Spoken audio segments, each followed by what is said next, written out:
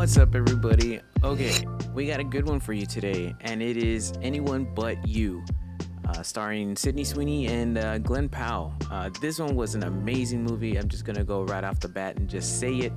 It was a pretty damn good movie.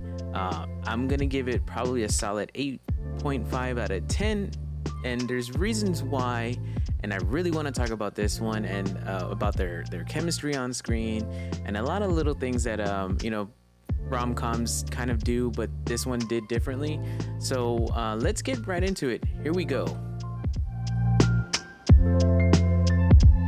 All right, everybody. Anyone But You, starring Sydney Sweeney and Glen Powell. Uh, first off, their chemistry on screen was very, very good. Uh, there, there, there were times when I actually felt that they were in a relationship and they were actually jealous or they were actually hurting um, in some of the scenes, and it, it, it, was good. It was really good. So, um, kudos to them for knocking it out of the park on that. I mean, these two people are just damn good-looking people. Uh, you know, and I and I want to give a little bit of a shout out to Sydney Sweeney for taking on a little bit of a different role um, from the stuff that we've known her for in Euphoria, right? Um, which is very she's kind of she kind of plays like this um, uh, kind of chaotic cheerleader, teeny bopper um, girl that is so infatuated, almost borderline stalker um, to this other guy. So we get we get that part from her, this drama and, and all that stuff. But in this movie, you really do fall in love with her and her character.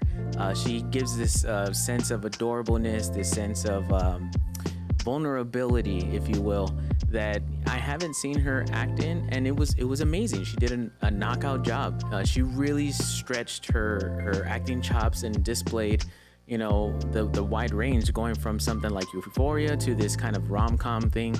So kudos to her. She really really really stepped up on this one, and and um, yeah, I'm really looking forward to her. You know, seeing her in um, what is it, Madame Web. So she's kind of you know gonna take on different different um, roles that have different um, that's gonna pull different kind of acting chops out of her. And i'm really excited for her. And i, I didn't really doubt her but i just i, do, I was just kind of like um, expecting something different in terms of like the delivery. And i think in this one she kind of like over delivered in a good way so kudos to her for that. And Glen Powell, this dude is just like fucking amazing. Um, I've only seen a couple of his movies, the more recent ones like Top Gun and that other one that he did with uh, Jonathan Majors, um, which were both like kind of like a drama ish kind of. Uh, but in this one, again, just like Sydney Sweeney, he really um, brought the comedy. He brought uh, swag. He brought, um, you know, a different uh, type of acting chops that he's um, you know best known for as of late. Now don't butcher me on this. I have not really seen any of his like movies other than those two. So um, and, and even sydney sweeney like i haven't really followed her. I don't really follow anybody. It's just just kind of what i see. Um, so he did he did a bang out job. They both did. And again without their on-screen chemistry this kind of film would have just fell flat and just would have just suffered. And um, it, I, th- I really strongly feel because they had such great chemistry on screen, it really forced everybody to kind of deliver. Gata was amazing, um, which is another guy. So if you know Gata, you know him from Dave, uh, the Little Dicky show on FX.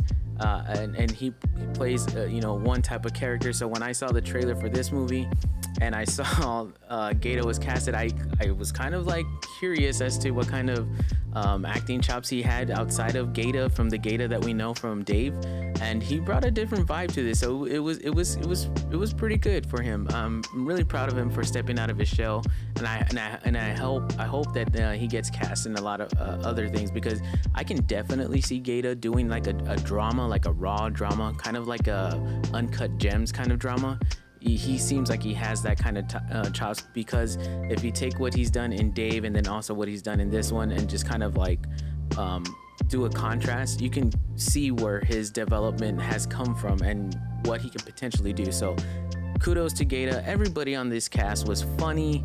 The story was was you know was okay. Um, nothing really groundbreaking. So, and, and honestly, when you see the trailers to these kind of movies, you already know what you're gonna watch.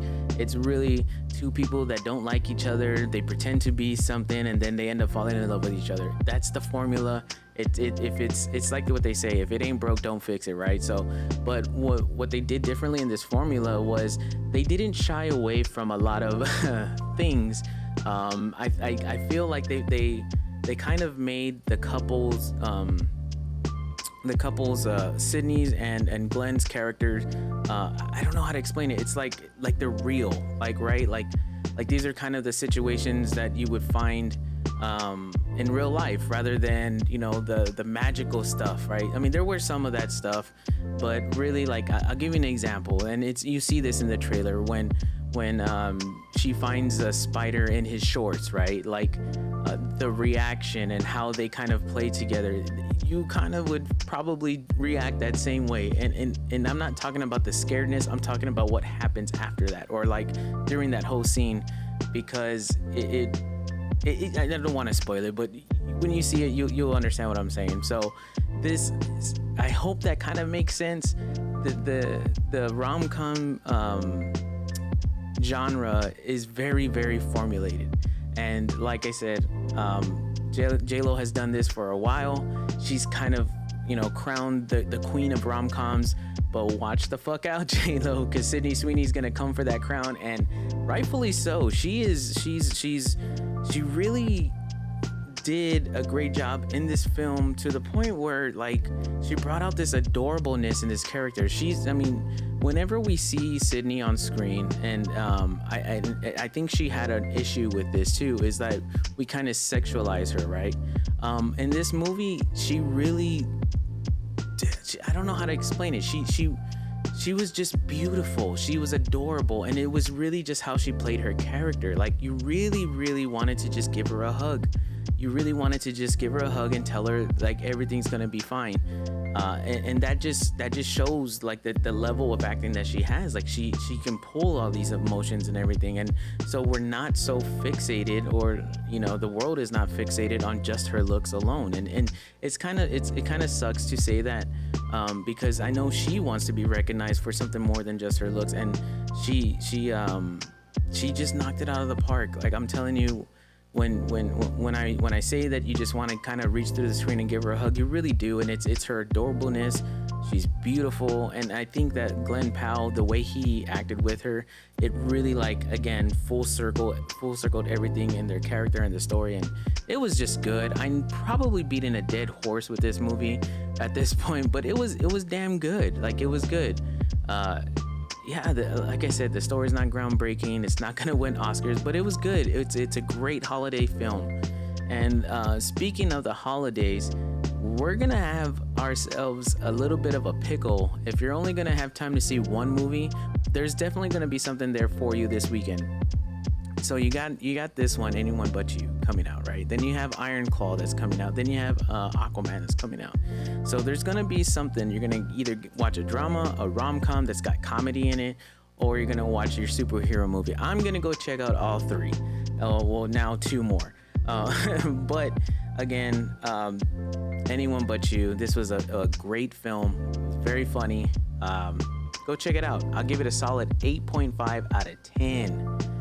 I gotta say, they, and and that's really due to the acting and how funny it was. It was it was it was a good time. So yeah, guys, that's gonna do it for me on anyone but you. Uh, do like and subscribe for uh, the uh, notifications for the next ones because I'm gonna be doing uh, Iron Claw tomorrow, the Von Erich story, and I'm really excited about that. It's the first time that I'm actually going to go into the theaters with some level of expectations because if you're of age like me, then you know more or less the Von Erich story and how sad that was. And just from the the trailer that I saw, I only seen so because I didn't want to spoil anything for myself. Um, it looked very, very good. Zac Efron, uh, Jeremy Allen White. Uh, and um, I'm sorry, I forget the other gentleman that's playing the character, but um, it looks so good. It looks like uh, almost to the level of the wrestler. If you haven't seen that, go check that out too. but yeah, I'm gonna go see that, and then I'm gonna go see Aquaman. Uh, so videos to come out. Stay tuned. Like I said, hit the like, subscribe, and uh, we'll catch you soon. All right. Have a good one. Keep spreading that love. Later, guys.